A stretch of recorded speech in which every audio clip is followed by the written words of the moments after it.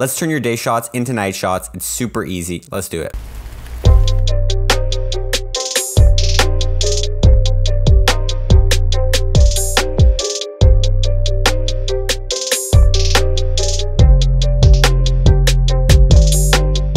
What's up guys, Dr. Dexperlay back with another video. I hope you guys are doing great today. Today we're gonna be color grading our day shots and we're gonna making them look like they were shot at night. Now this is actually a really popular technique. A lot of people actually use this because when you're shooting at day, you can get a lot sharper of an image. You don't really have to bring up that ISO and that will introduce a lot of grain. So people actually shoot sometimes, they shoot their shots at day and color grade them for night. So you know it's a night shot, but it's a lot more visible, a lot more sharp. Now if you don't wanna watch this video, I'm gonna leave a LUT in the link below. You can just throw that LUT on your footage. It'll instantly color grade your footage for nighttime. But if you wanna do it for yourself, just watch this video. It's real quick and I'm gonna show you guys all the simple steps. Now I wanna talk about step one. Before we start, if you're planning on doing this and you know you're gonna shoot at day, it is best when you get a shot that does not have harsh sunlight. Because if there's gonna be harsh sunlight, it's gonna be hard to color grade, especially if that shot includes the sky. Color grading out that really bright blue sky is really hard. It doesn't look natural at night. So it's better when it's a cloudy day or if your shot does not include the blue sky and you're shooting either a top-down drone shot or, you know, a vertical shot, but it doesn't include a lot of sky or wherever it includes the sky, it is cloudy. However, if you've already shot the shot and you're in a pinch here, this will work very well,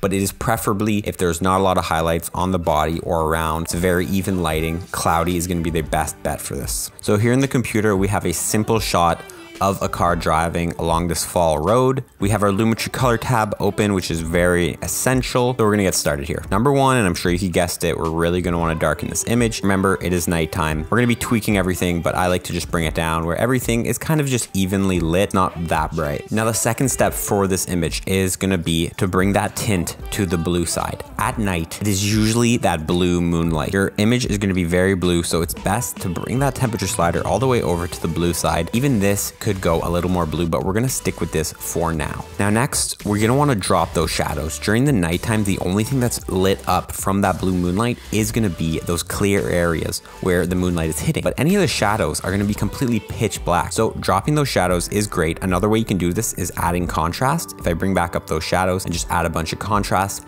that'll make this image really, really pop. Now, one thing is blue moonlight is not the same color as the sky during the day, which is a light blue. You wanna change the tint of your blue to a more darker gruesome blue. So what you can do is come over to the curves panel. You can go to the hue versus hue where you can select a hue and then change that hue. You're gonna select something that's blue right there. Now I like to take these little sliders, bring them out a bit so that you can change more colors. And then with this, we can kind of play with the hue of this blue. So as you can see here, it's more of a teal. We bring it down, we bring it down. There, it becomes more of a purple. So we just kind of want to bring it just a tad down. Now we can play with the other tone sliders. The highlights are going to pop a bit, but not too much. Those blacks, we want to make them dark, as dark as we can without clipping. Also, I like to drop the saturation just a tad at night. Not everything is going to be as vibrant as it was during the day. Now we can drop that exposure a bit. If we want to add more contrast, we can simply RGB curves, grab this top one. You're gonna wanna bring that up and we're gonna drop this bottom one. Bang, good contrast. As you can see, it's real dark, so we might have to pop that up a bit. Highlights a little strong. Again, you're gonna be playing with this. Those lines probably won't be that bright during the nighttime. So what we can do to drop that Let's grab these whites, bring them down, and then maybe drop that contrast just a tad. This shot looks pretty good. One thing you'll notice, this car doesn't have any headlights, so you have to think about your shot and if anything would be different in the shot during the night. Now, what I can do to fix that is I can obviously track some headlights some pointed lights in this direction forward. That's gonna be a little complicated. That's gonna be getting into visual effects, but you have to note that. So this shot looks pretty good.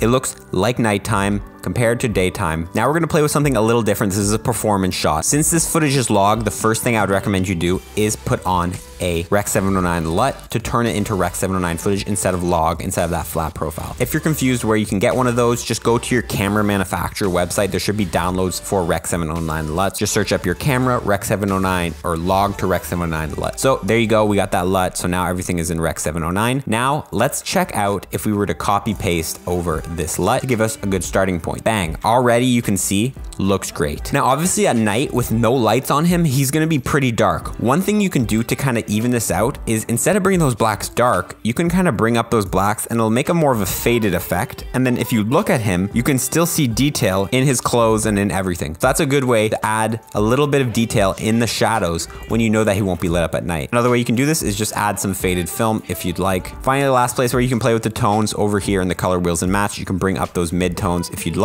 then bring those down those shadows, play around with that. But as you can see, it looks pretty nighttime with this rap video and all I really had to do was copy paste. So just know if you're color grading multiple clips, you can just throw back and forth and then just do small adjustments and it should look pretty similar. But yeah, that's pretty much the video. Again, there's a LUT below if you'd like to just download the LUT and throw it on. Obviously you'd have to make small changes, but this will pretty much make your footage look like nighttime. And yeah, question of the day for you guys, let me know what the favorite time of day for you guys to shoot is. But yeah, my name has been Dax Brulé. I hope you guys enjoyed this video. I hope you guys got some value out of it. Creators, keep creating. I'll see you guys next week. Peace.